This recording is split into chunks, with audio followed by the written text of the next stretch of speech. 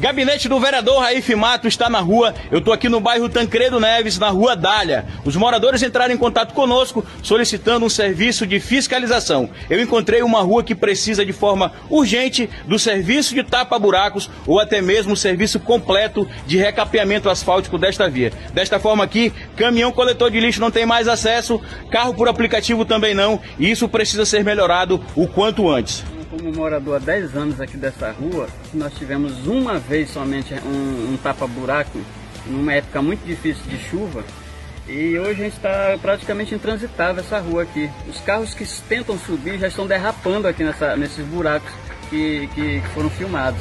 Então eu peço é, encarecidamente ao, nosso, ao nosso vereador Raif Matos, à prefeitura, aos, aos órgãos responsáveis, que venham nos dar essa, essa ajuda para que nós possamos ter um, uma passagem melhor, ter o direito de ir e vir, como a própria lei nos dá.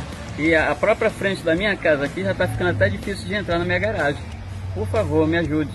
Nós iremos levar esse assunto ao conhecimento da Prefeitura de Manaus, através de um requerimento que será expedido pelo gabinete do vereador Raif Matos. 15 leis aprovadas na Câmara Municipal de Manaus. O trabalho de fiscalização do vereador Raif Matos é uma marca registrada do seu mandato e nós estamos aqui na rua fiscalizando, juntamente com o corpo de assessoria do vereador Raif Matos. E se você aí no seu bairro tem algum problema parecido com esse, faça contato conosco que nós iremos até você com enorme satisfação. Gabinete do vereador Raif Matos, pronto para servir a Deus e ao povo de Manaus.